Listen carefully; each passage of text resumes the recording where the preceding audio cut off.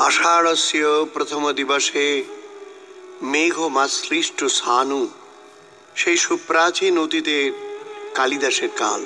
মেঘদূতের অভিশপ্ত বিরোহী যক্ষ রামগিরি পর্বতে আষাঢ়ের প্রথম দিনে ঘন কালো মেঘ দেখে উল্লসিত হয়েছিলেন।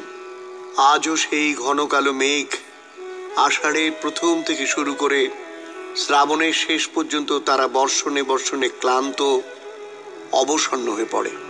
তাই তখন তাদের বর্ণকান্তি ধীরে ধীরে শ্বেত শুভ্র বর্ণে রূপান্তরিত হয়ে নভমণ্ডল সাদা মেঘের বেহালায় পর্যবেসিত হতে দেখা যায়।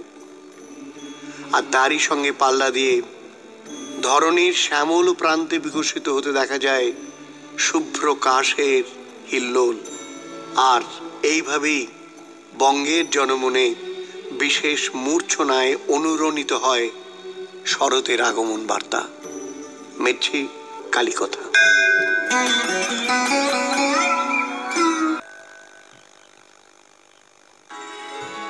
বর্ষণ ক্ষান্ত দিনে বঙ্গের জনমনে বিশেষ মূর্ছনায় অনুরণিত হয় শরৎকালের আগমন বার্তা, এটা আপনাকে আগেই বলেছি। আর ঠিক তখনই সমগ্র মাঠে, প্রান্তরে আগামী দিনের প্রাচুর্যের সম্ভাবনা নিয়ে বেড়ে ওঠা শ্যামল ধানক্ষেত মানুষের মনে এনে দেয় এক সম্ভাবনাময় ভবিষ্যতের নিশ্চিত আশ্বাস। তারই উন্মাদনায় বাঙালি হৃদয় উৎসাহিত হয়ে মেতে ওঠে তাদের কন্যা সম পরম আদরের মহিষাসুর মর্দিনী, বিশ্বপালিনী দুর্গতি নাশিনী তথা জগৎ জননী মহামায়ার আরাধনায়। সেই আরাধনাও বাঙালিদের স্বকীয় বিশেষত্বে সমুজ্জ্বল, কারণ তাদের কাছে জগৎ জননী দেবী তো ঘরের মেয়ে। মৃন্ময়ী মূর্তিতে তারা চিন্ময়ীর আরাধনা করলেও জগৎ জননীকে তারা ঘরের মেয়ে হিসেবে আবাহন করে।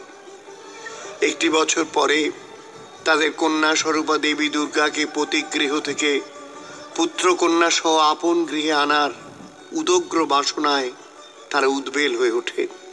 তারই সুস্পষ্ট অভিব্যক্তি শোনা যায় গ্রাম বাংলার বাউলদের গাওয়া আগমনী গানের মূর্ছনায় সেখানে মেনকারূপী বাঙালি মায়েরা কন্যা বিরহে কাতর হয়ে গিরিরাজরূপী গৃহকর্তাদের কন্যা আনার তাগাদা লাগায়।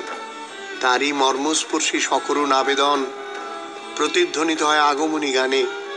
বাউল বৈরাগী কণ্ঠে শোনা যায়, যাও যাও গিরি, আনিতে গৌরী, উমা আমার কত কেঁদেছে।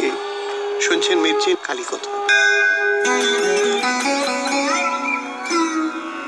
জগন্নাথ বসুর সঙ্গে কালী কথা। যাও যাও গিরি, আনিতে গৌরী। উমা আমার কত কেঁদেছে। মায়ের যেন আর বিলম্ব সহ্য হয় না।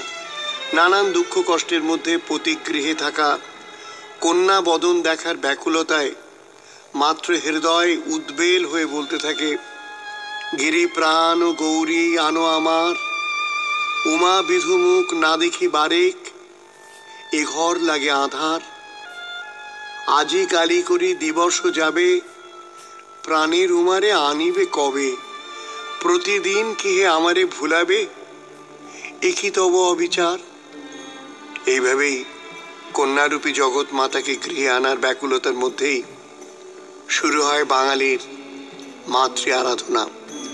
কন্যা তার সন্তান সন্ততি নিয়ে বৎসর আনতে স্বামী গৃহ হতে মাত্র কয়েকদিনের জন্য হলেও পিতৃ গৃহে এলে সকল গৃহেই আনন্দের স্রোত হয়ে যায়। বাঙালি মননে সেই অনন্য অনুভূতি বাৎসল্য প্রেমের নিগড়ে এক অপার্থিব আনন্দের সৃষ্টি করে, উৎসবের সৃষ্টি করে। সেই বাৎসল্য প্রেমানুভূতি যেন ক্রমশ ঘনীভূত হয়ে ব্রহ্মানন্দে পরিণত হয়। এইখানেই বাঙালি উৎসবের অনন্যতা। মির্ছে কালী কথা